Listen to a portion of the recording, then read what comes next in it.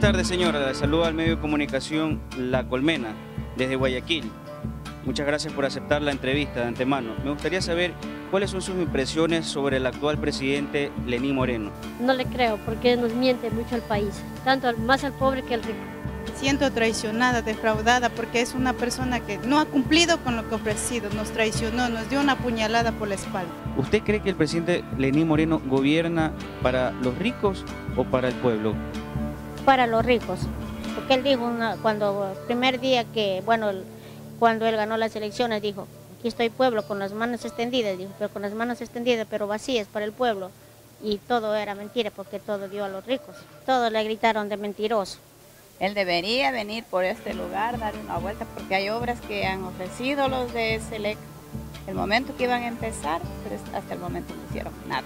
Alrededor del proyecto de la hidroeléctrica San Francisco se iban a realizar algunas obras de carácter social para Sarayunga. ¿El gobierno de Lenín Moreno las ha realizado? Ninguna.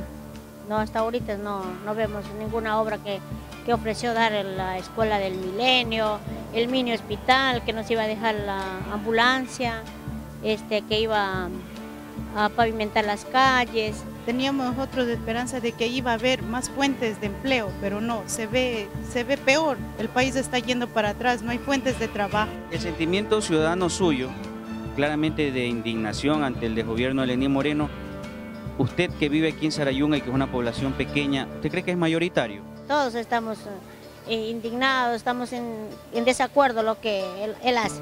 Mucha de, este, de, esta comunidad, mucha gente, muchas familias que se están yendo, o sea, a, migrando, ¿no es cierto? ¿Me entiendes? Migran a otro lugar a buscar fuentes de trabajo para, para traer sustento a su casa.